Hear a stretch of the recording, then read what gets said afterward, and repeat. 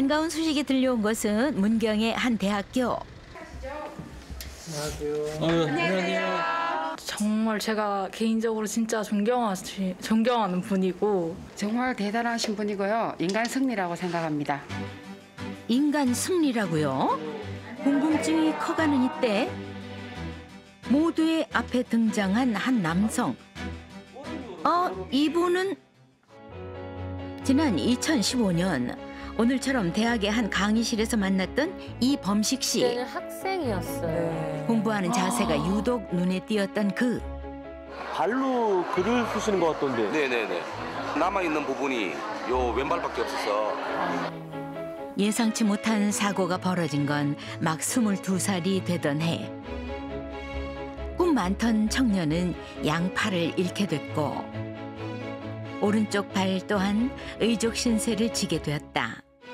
남은 왼발로 누구보다 활발한 대학 생활을 즐겼던 주인공. 그런데 아이고. 순식간에 벌어진 일. 많이 놀란 듯한데 얼굴 다치셨죠. 병원 가, 가야 되는 거 아니에요? 아유 그런데 지금 몇 시라? 아야 내 수업하러 가야 돼. 아유 아유 아유 빨리 갑시다. 어머. 아무도 말리지 못했던 열정. 배움의 길을 걸으며 설자리를 만들겠다던 꿈은 어떻게 됐을까? 어, 원래 2월 달에 박사학위 취득했고 지금 교수하고 있습니다. 이 우리 학생들 가르치고 있어요. 세상에 약속 제대로 지키셨네요. 대단하세요. 진짜 정말 대단하시다. 대단하세요. 와. 교수님 대단하십니다. 아유. 오랜 시간의 노력이 만들어낸 기적. 아, 책상에 앉아 수업을 듣던 늦깎이 대학생이 이제 강의를 하고 있다니 하, 하도 이렇게 하다 보이기에 책이 너덜너덜해졌어요. 왼발 사용도 더 수준급이 됐다. 내가 할 수 있는 일이잖아요. 그래서 내가 할 수 있는 일은 스스로 다 하려고 노력합니다. 그리고 황금발이잖아요. 황금 발만 있다면 만사 오케이.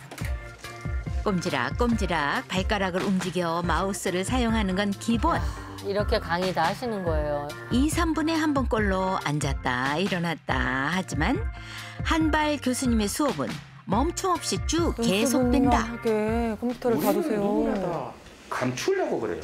자신의 약점도 감추려고 그러고 자신의 비밀도 감추려고 그러고 삶을 녹여낸 내용에 수업 집중도 또한 최상. 늦깎이 대학에 들어와서 되게 힘들었는데 너무 누울 뻔하던 거를 기회로 다시 살려주신 분입니다.